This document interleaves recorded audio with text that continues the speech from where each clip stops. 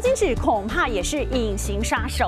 重要的礼俗祭典都会烧金纸，但是根据统计，每烧一顿纸钱排出的污染物，相当于六万五千辆小客车跑一公里的排气量。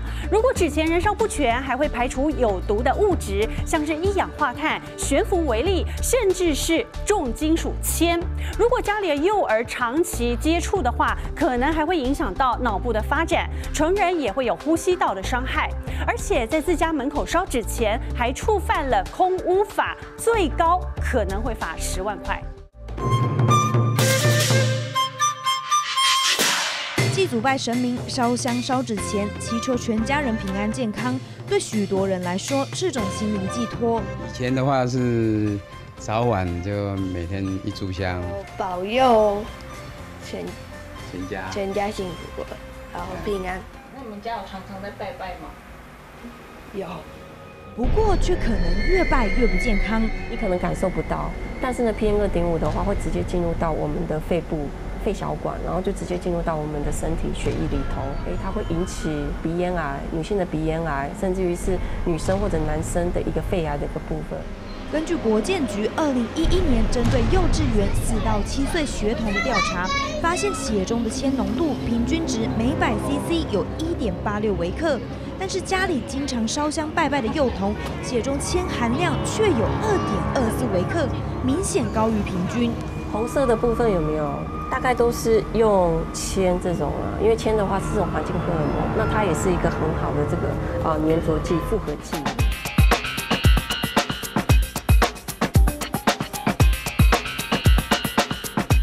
机检验市面上的香，发现的确含有重金属铅。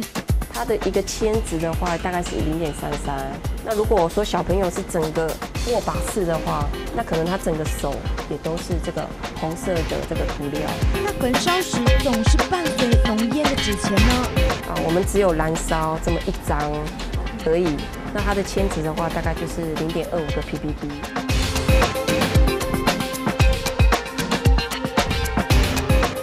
大于五个 ppb 就可能对小朋友的智力引引起伤害，而且这是不反不可逆的反应。这铅这个重金属原本就是会引起我们的情绪反应，跟高血压，对，已经证实了，也是其中的一个致致病的一个因子。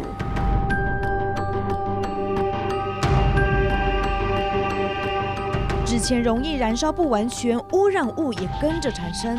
燃烧不完整的话，基本上 CO、B、H 就是那个碳氢化合物会更加的重，比较容易引起呼吸道的疾病。那比较严重的话，大概就是气喘。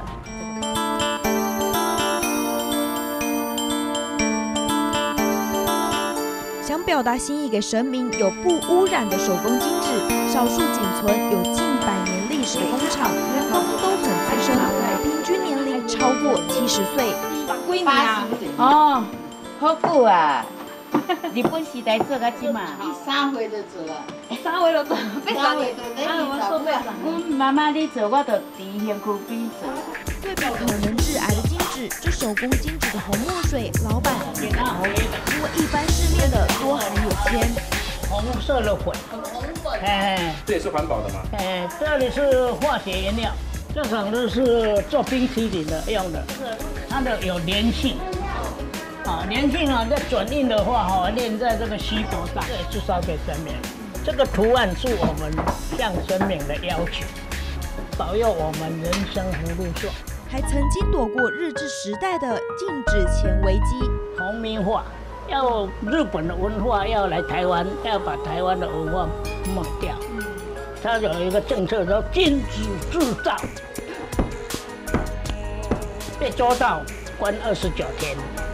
为什么关二十九天呢？二十九天他不用写报告，这样子。啊，这个重复锤水还是会发出明显的声音，所以只能剪。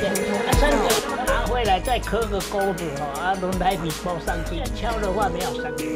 按照传统，用前形成纤维，开白粉去煮啊，它有那个粘性啊，它把它粘上去，泡泡剂也腿啊，它它的皮有纤维。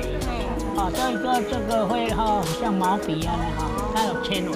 要让锡箔成金，不能少了这个步骤。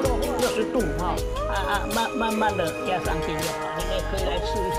看似简单，但控制力道讲求技巧。这神奇的涂料究竟是什么做的呢？这是铜胶，哎，这是印度的，印度的，这个有胶质。啊，这是天然的。哎，这个天然，这可以吃啊。在早期的话是用中药的黄花，黄花去煮太白粉，啊，那是水性的。那现在用工业酒精上去，挥发比较快。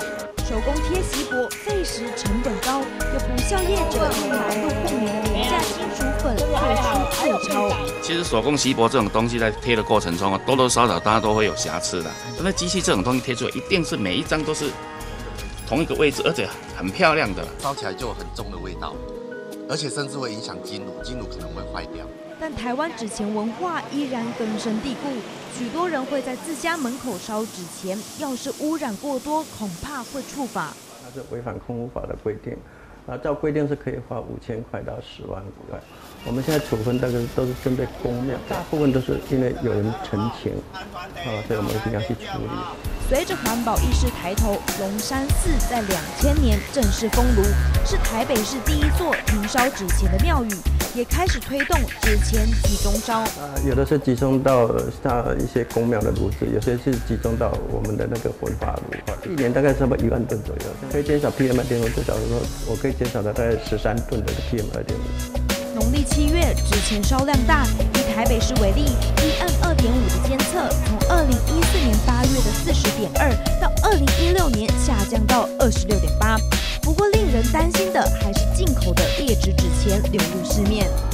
大概是抽烟，大概是抽了二十四件哈，大概有四分之一，就有六件哈，它。呃，它是属于这个甲醛是超过国家的标准，尽量去抽验。那以后会从海关那边，从海关那边就直接就要求，他只要是进口的话，那就希望他提出他的检测报告。有检测报告合格以后，才能够让它进口。标准局说，这些含甲醛的纸钱依消保法全数下架，每个月抽验一百多件商品类，全数合格。但有业者说，市售七成香，同是劣质来看，落差实在不小。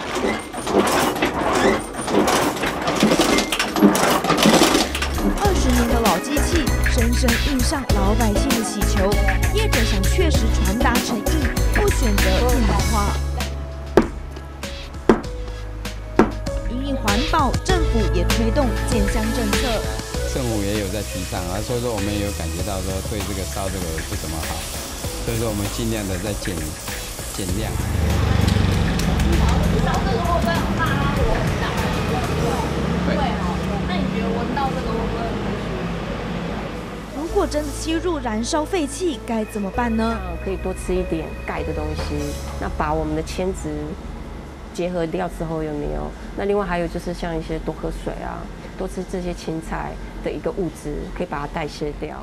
民众焚烧纸钱，烧好不烧多，也许是现阶段兼顾环保和传统文化的折中方式。